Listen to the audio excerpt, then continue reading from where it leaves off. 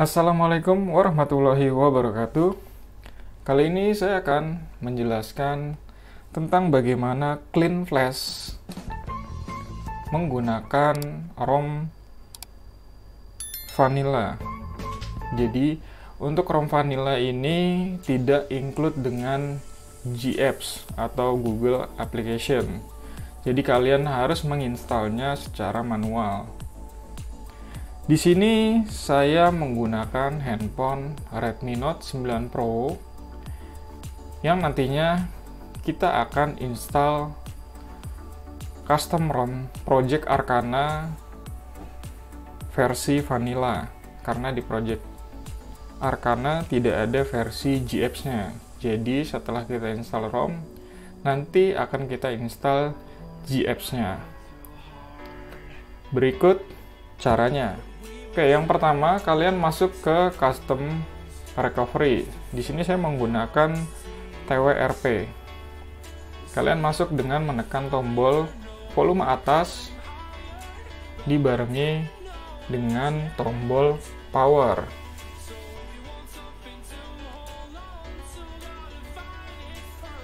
Setelah ada Redmi-nya, kalian lepas powernya dan tetap tekan tombol atas.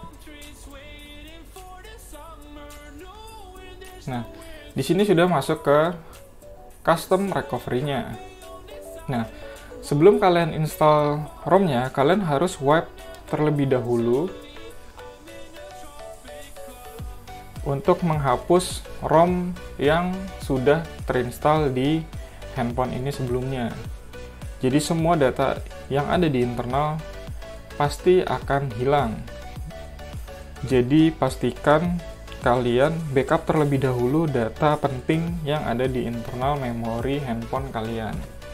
Setelah masuk ke mode wipe, kalian pilih advance wipe, kemudian kalian centang field metadata, data internal storage, dan cache. Kemudian kalian geser untuk wipe. Tunggu sampai selesai,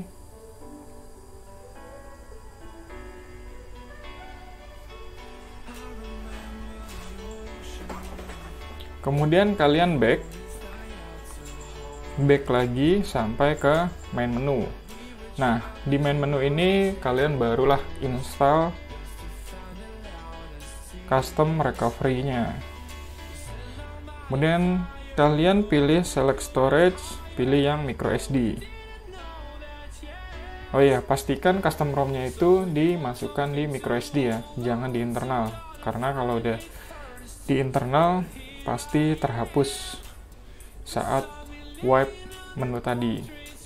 Di sini saya masuk ke micro SD, kemudian saya masuk ke folder alarm untuk melihat ROM-nya. Nah, di sini ada Project Arcana Everglow. Kalian bisa lihat. Project Arcana Everglow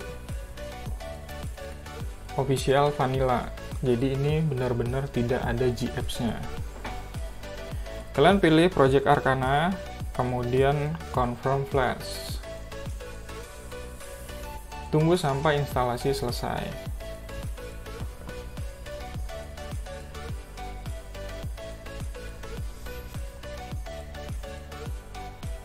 Oh iya, kalian bisa lihat custom ROM ini menggunakan versi vanilla. Vanilla itu nggak ada GApps-nya jadi kalian harus install secara manual.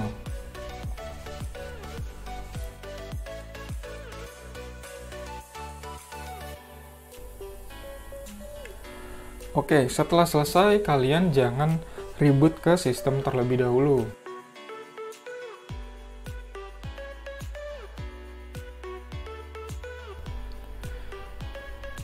Setelah selesai install custom ROM, kalian kembali lagi ke folder sebelumnya.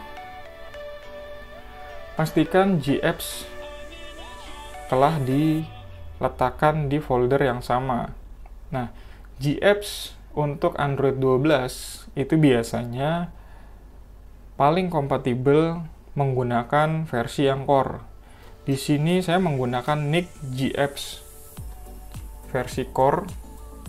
Kalian bisa lihat di sini. Nah, ini kalian install terlebih dahulu sebelum masuk ke sistem Project Arcana. Kalian install, tunggu sampai selesai.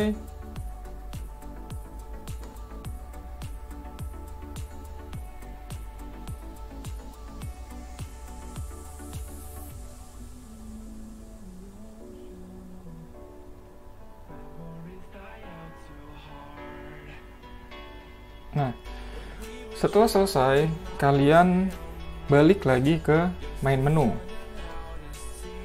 Kembali langsung ke home, kemudian kalian pilih wipe.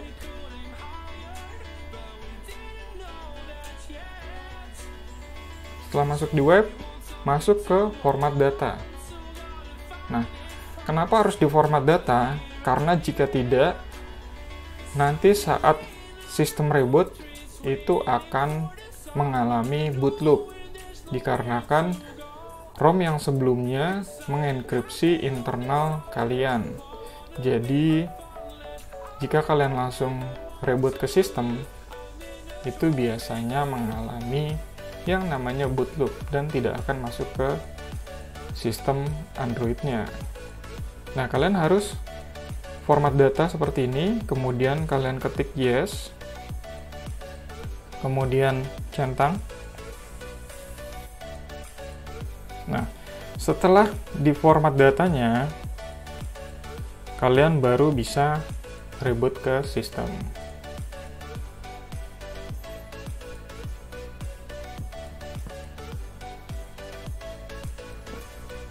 Kalian tunggu sampai handphone ini benar-benar masuk ke sistem custom ROM kalian. Seperti ini. Jadi sudah masuk ke boot animation dan kita tunggu sampai masuk ke lock screen atau home screen-nya. Nah, ini. Sudah masuk ke sistem Android-nya. Karena kontrasnya terlalu tinggi jadi agak susah fokusnya.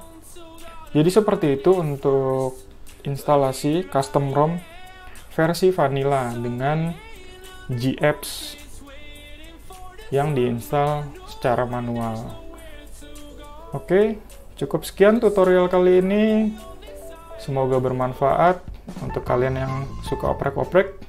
Wassalamualaikum warahmatullahi wabarakatuh. See you next video.